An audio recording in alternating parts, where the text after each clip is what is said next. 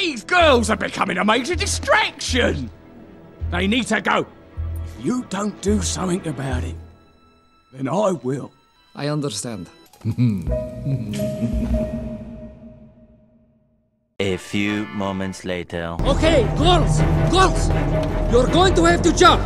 Jump? Are you insane? Don't worry, I will catch you. It'll be okay.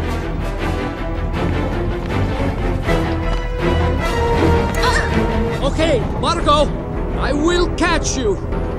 You have to jump now.